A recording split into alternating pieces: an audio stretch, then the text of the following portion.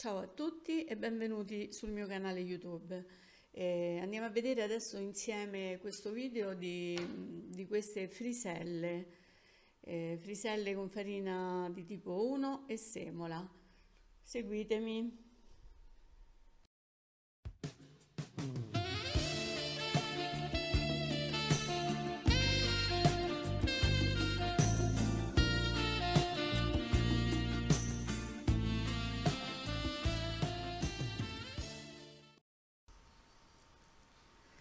Allora, io farò queste friselle con la farina del molino cipolla, farina di tipo 1 e semola. Metto in autolisi le farine con una parte di acqua. le friselle non devono essere eh, tantissimo idratate, quindi mm, l'idratazione è, è meno del 60%. Ok metto un altro po' d'acqua, poi copro e lascio eh, mezz'ora in autolisi. Eh, le friselle è un tipo di pane pugliese eh, che facevano i contadini, i marinai pugliesi, eh, va fatto a ciambella, poi tostato in modo che si mantiene, si può imbustare e si mantiene a lungo.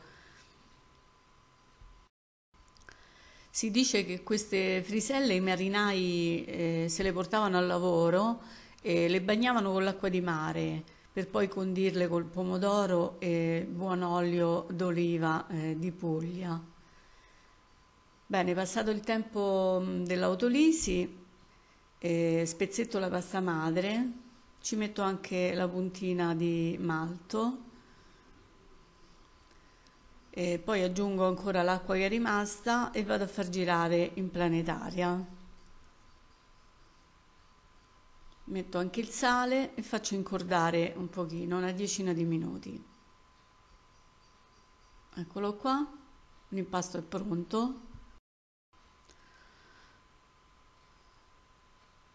Verso l'impasto sul piano di lavoro ci metto appena un po' di farina, ma poca perché eh, nemmeno serve, non è appiccicoso l'impasto. E lo lavoro un pochino così.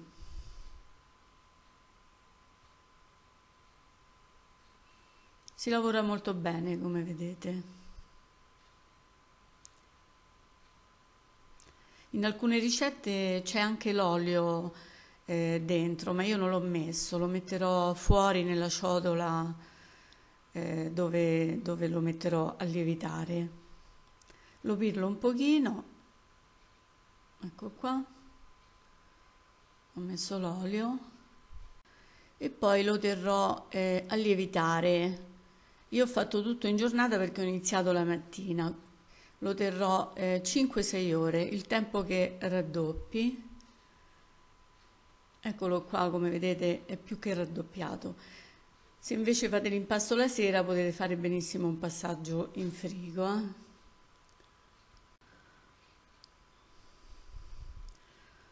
Lo, lo allungo un pochino, ora dovrò fare mm, eh, i pezzi, dovrò fare eh, pezzi da 100 all'incirca 140 grammi, quindi arrotolo un pochino così. E poi taglio. Peso soltanto il primo pezzo per vedere presso a poco eh, come mi devo regolare e poi faccio dei cilindri che rotolo così in questo modo per formare le ciambelle. Ho preparato i bicchieri che metterò al centro per far ehm, mantenere la forma alle ciambelle. E lo ungo di olio, ungo d'olio il bicchiere.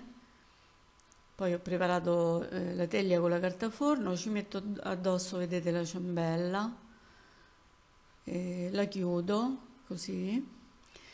E poi alla fine io ho cambiato questi bicchieri perché mi sono resa conto che erano troppo alti perché poi dobbiamo coprire con la pellicola.